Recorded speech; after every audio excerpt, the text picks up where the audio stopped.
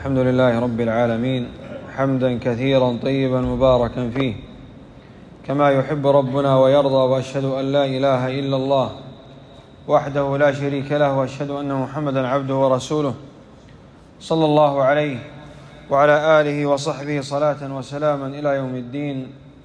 أما بعد قال الحافظ النووي رحمه الله تعالى في كتاب رياض الصالحين في كتاب الفضائل في باب فضل يوم الجمعة. قال في آخر الباب وعنه أي عن أي عن أبي هريرة رضي الله عنه أن رسول الله صلى الله عليه وسلم ذكر يوم الجمعة فقال فيها ساعة لا يوافقها عبد مسلم وهو قائم يصلي يسأل الله شيئا إلا أعطاه إياه وأشار بيده يقللها. متفق عليه. وعن أبي بردة بن أبي موسى الأشعري رضي الله عنه قال قال عبد الله بن عمر رضي الله عنهما أسمعت أباك يحدث عن رسول الله صلى الله عليه وسلم في شأن ساعة الجمعة؟ قال قلت نعم. سمعته يقول سمعت رسول الله صلى الله عليه وسلم يقول هي ما بين أن يجلس الإمام إلى أن تقضى الصلاة رواه مسلم. وعن أوس بن أوس رضي الله عنه قال قال رسول الله صلى الله عليه وسلم من إن من أفضل أيامكم يوم الجمعة فأكثروا علي من الصلاة فيه فإن صلاتكم معروضة علي. رواه أبو داود بسناد صحيح. ختم المصنف رحمه الله تعالى هذا الباب بهذه الأحاديث وفي هذه الأحاديث مسائل. في حديث أبي هريرة وحديث أبي موسى الأشعري رضي الله عنهم آه، فيما يتعلق بساعة الإجابة يوم الجمعة.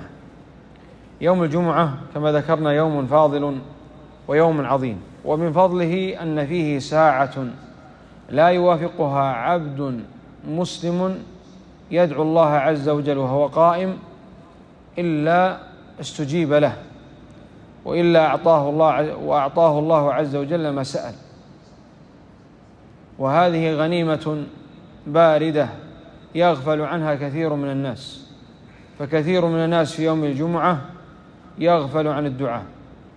وفيه هذه الفضيلة أن من سأل الله عز وجل أي حاجة من حاجة من حوائج الدنيا والآخرة إلا أعطاه الله عز وجل ما سأل كما قال صلى الله عليه وسلم فيها ساعة لا يوافقها عبد مسلم.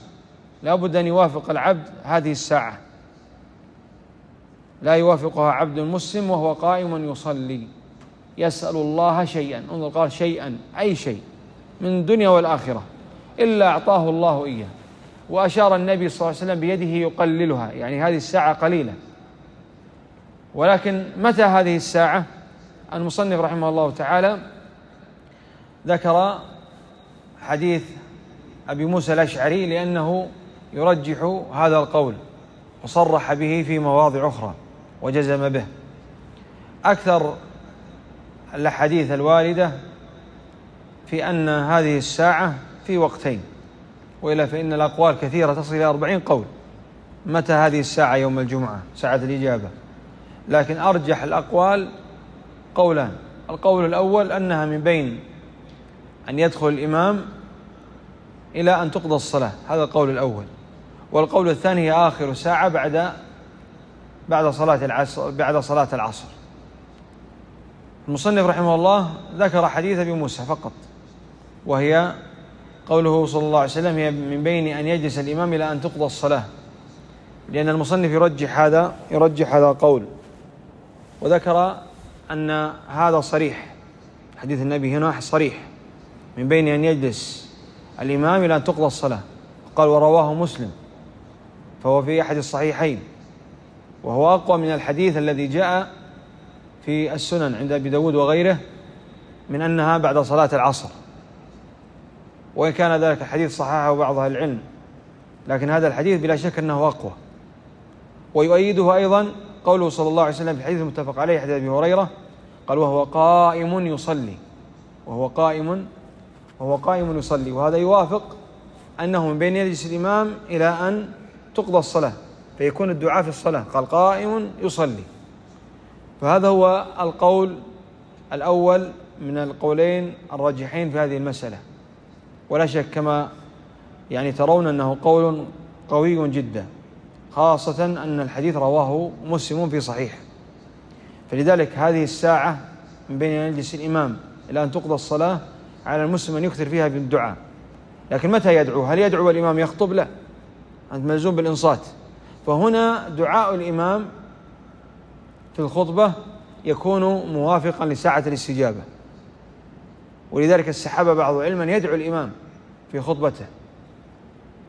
لعل الله عز وجل يستجاب أن يستجيب له دعاء ويؤمن الناس على دعائه. يؤمن الناس على دعائه ولكن من دون رفع اليدين. لأنه لم يرد إلا في الاستسقاء.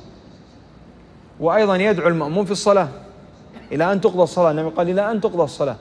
ومواضع الدعاء في الصلاة كثيرة. وأهمها وقت السجود وقبل السلام. هي أهم آه، مواضع الدعاء في الصلاة. في السجود وقبل أن تسلم. ففي هذين الوقتين أكثر من الدعاء. لأن النبي صلى الله عليه وسلم صرح في هذا الحديث من بين أن يجلس الإمام إلى أن تقضى إلى أن تقضى الصلاة.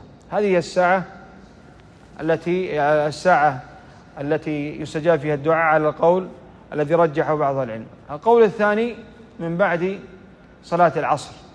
آخر ساعة بعد صلاة العصر. وقد جاء في حديث عن النبي صلى الله عليه وسلم أنها تلتمس بعد صلاة العصر وهذا الحديث صححه بعض أهل العلم وهو في السنن.